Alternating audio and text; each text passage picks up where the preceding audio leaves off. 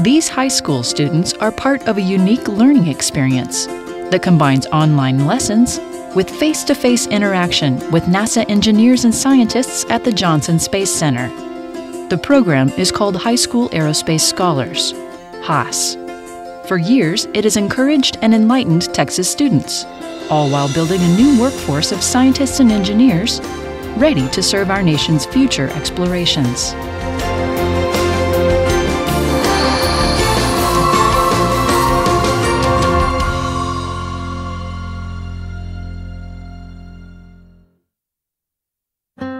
They come from all over the Lone Star State, from small towns and large cities. They are high school juniors, interested in working with NASA and interested in science, technology, engineering, and math, the STEM subjects. Through HAS, they discover they are not alone in those interests as they meet other like minded Texas students with different backgrounds, different experiences, and fresh ideas. The HAS experience of seeing NASA up close and meeting the people who make space missions a reality reveals new paths for the high school students to explore at a critical time in their lives. Students are definitely making decisions about their future in this point, about where they want to go to school, what they want to do in college, and, and what kind of career that might lead to. And for a lot of students, they don't really know what a career in engineering is like without getting some kind of experience like this. The High School Aerospace Scholar Program has proven to have lasting effects on the participants as they go on to pursue their education and careers. Meet some HAS alumni. My interest in math and science has always it's been it started way back when I was a kid. So it's just working with numbers. It's just like a second language. My name is Antia Chambers. I work at Johnson Space Center in Houston, Texas, and I'm the Precipitation Prevention Project Manager. I'm also the hardware manager of the compatible water containers uh, that are used currently on the International Space Station. I would go to Mars in a heartbeat. I'm Allie Rutledge, and I'm a PhD candidate in geological sciences at Arizona State University. I study planetary geology, especially the geologic evolution of the surface of Mars. Uh, my name is Cody Kelly, and I'm a crew survival engineer here at the NASA Johnson Space Center. So what our branch, what my group does is we're basically designing the technologies that we'll need to extend human presence for spacewalking outside of low Earth orbit. And there are countless other HAS alumni, many working at NASA, others in STEM careers, but all inspired by the program. The journey of a high school aerospace scholar begins when they decide to sign up. They must seek a nomination from their state representative to become a part of the program. Then it's time to study. The students will work online with a specially constructed curriculum designed to prepare them for a specific task planning a mission to Mars. So I was having to, you know, learn all this stuff in addition to my normal educational curriculum. And that was a huge part of it is I got to learn stuff that I wasn't learning in the traditional classroom. And it had so, so much real world application to what NASA was doing at the time. The HAS journey continues with a week-long experience at the NASA Johnson Space Center. It introduces the students to new fields they did not know existed.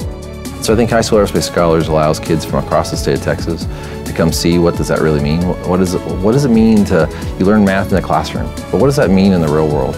You learn about science, but what does that do? What does engineers really do with those concepts? I especially remember a tour of a biology lab where we got to see plants and how they were grown aboard the International Space Station and how they could be grown for an eventual mission to Mars. That blew me away. I think the first time I saw the NBL was just an incredible experience. When you when you come up and you see the pool um, and you see just how big it is, and just to know that that's how they train for spacewalk. Other than seeing STEM in action at NASA, the students also have an important assignment to finish. Using their knowledge obtained from the online curriculum, they create a simulated mission to Mars. Working in teams with assigned roles as real engineers do, the students must analyze the challenges before them, problem solve, and utilize critical thinking skills. Speaking as an educator, uh, it's hands-on STEM, science, technology, engineering, and mathematics. It's real world. This is, you know, they're in meetings, they're in deadlines, they have pressure, they have to work as a team. Along the way, HAS students are mentored by NASA engineers and scientists. Having the students meet the scientists and engineers is probably one of the key elements of this program because it gives them the first-hand interaction, face-to-face. Wow, this is a real NASA scientist. For so many years, you, hear about the NASA rocket scientist and you're kind of like, wow, yeah, but he's a scientist. But yeah, we're, we're regular people and, and those kids get a feel for that and then they also get a feel for that I can do this too. Everybody was just really open to talk. Like you kind of are, you know, thinking, oh, I'm just kind of a high school student and this is a big scientist or engineer or astronaut or, or any kind of profession and you kind of feel a little timid to, to ask them questions. But um, what I found is we love talking about our jobs. So like ask all the questions that you want. The students wrap up their HAS experience by presenting their Mars mission project to a team of actual NASA technical experts who will grade the assignment. This work, along with what they learned online, the STEM careers and NASA hardware they saw, and the people they met, provides a new sense of direction and purpose.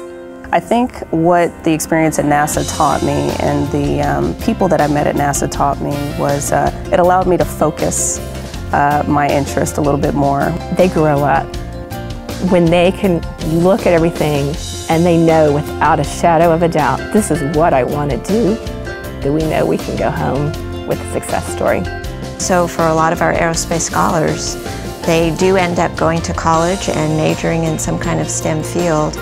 And if we're lucky, we see them back here uh, maybe as college students, as interns, and then we've had the opportunity to hire them uh, several years later and come back. And many of our folks now who work here as employees who started as high school aerospace scholars have become mentors for, for a new group of aerospace scholars. So for us, it's a really great cycle. I'm living my dream every day. I work with some of the greatest people here at NASA. A lot of them are actually high school aerospace scholar alumni. So again, it's kind of that, that club and that culture that is built up by this program. It's amazing that, you know, I grew up in a, a small town, was given these opportunities, and I'm able to, to live out my dream every single day.